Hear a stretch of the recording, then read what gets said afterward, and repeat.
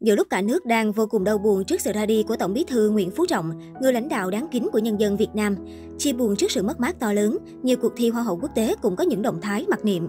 Tối ngày 19 tháng 7, theo thông tin từ Hội đồng chuyên môn bảo vệ sức khỏe cán bộ Trung ương, đồng chí Tổng bí thư Nguyễn Phú Trọng đã từ trần vào lúc 13 giờ 38 phút tại Bệnh viện Trung ương Quân đội 108, hưởng thọ 80 tuổi. Sự ra đi của Tổng bí thư là niềm đau xót to lớn của người dân Việt Nam. Tang lễ của Tổng bí thư Nguyễn Phú Trọng cũng được tổ chức theo hình thức quốc tang. Trước sự đau buồn của nhân dân Việt Nam, nhiều tổ chức hoa hậu quốc tế cũng có những động thái mặc niệm, tưởng nhớ về người lãnh đạo đáng kính. Trên trang chủ của cuộc thi Miss Tram, tài khoản đã đổi ảnh đại diện sang trắng đen, đồng thời có bài đăng bằng cả tiếng Việt và tiếng Anh. Tổ chức Miss Tram viết, tổ chức Miss Tram xin được gửi lời chia buồn sâu sắc với sự ra đi của Tổng bí thư Ban chấp hành Trung ương Đảng Cộng sản Việt Nam Nguyễn Phú Trọng. Những cống hiến và giá trị to lớn trong suốt cuộc đời vì nước vì dân của Tổng bí thư sẽ còn mãi trong lòng người dân Việt Nam. Bên cạnh cuộc thi Miss Tram, thì tổ chức Miss Cosmo cũng là cuộc thi nhan sắc có động thái chia buồn đến quốc tàng. Trên trang chủ, bài đăng mới nhất chia buồn trước sự ra đi này, viết bằng tiếng Anh, được dịch lại sang tiếng Việt có nội dung.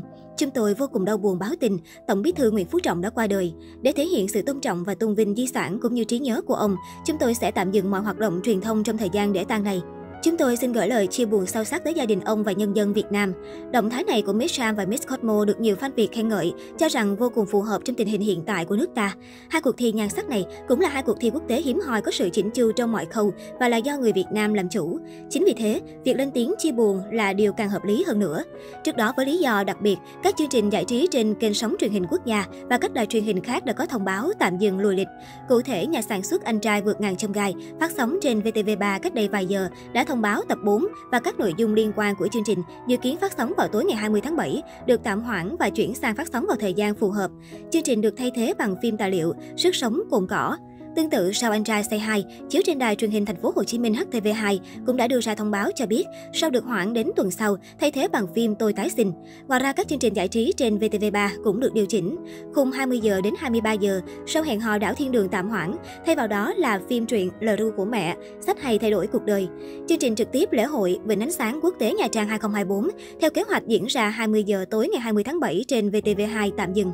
Đêm nhạc New Special Night của Noo Phước Thịnh dự kiến diễn ra vào ngày 21 21 tháng 7 hay Gathering Night của Hồ Ngọc Hà vào ngày 23 tháng 7 tại thành phố Hồ Chí Minh cũng được dời ngày tổ chức.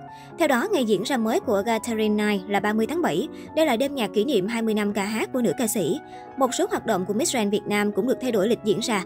Ekip sản xuất chưa thông báo lịch trình mới. Trong khi đó, chung kết Hoa hậu du lịch Việt Nam 2024 lùi từ ngày 20 tháng 7 sang thời điểm thích hợp hơn. Các chương trình hoạt động khác như sơ khảo khu vực phía Bắc, Hoa hậu du lịch Việt Nam toàn cầu, Màu hoa đỏ Hà Nội hay vị tuyến 17 khát vọng hòa bình Quảng Trị đều được lùi lịch. Đám cưới của diễn viên Anh Đức diễn ra vào ngày 26 tháng 7 tới cũng được anh cùng bà xã ra thông báo hoãn, mặc dù tất cả mọi khâu đã được chuẩn bị kỹ lưỡng và sẵn sàng.